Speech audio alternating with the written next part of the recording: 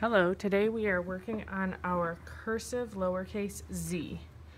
This is the last lowercase letter that we have to learn in our cursive alphabet.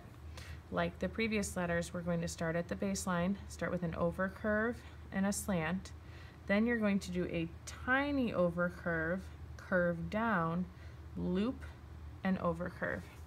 Again, if you are left-handed, remember to start with your left top corner of your paper up. If you are right-handed, start with the top right corner of your paper up. Start at the baseline and always try to trace that box letter to get the basic form. This whole letter, you're not going to lift up your pencil until you're done. Start at the baseline, over curve, slant, do a tiny little over curve, then loop down, loop back to the midline.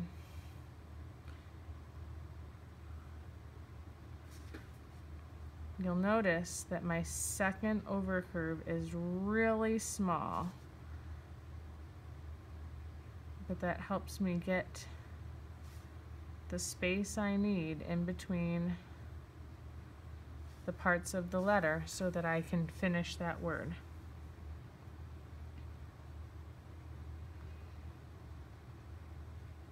Take your time with your Z's make sure that you are forming them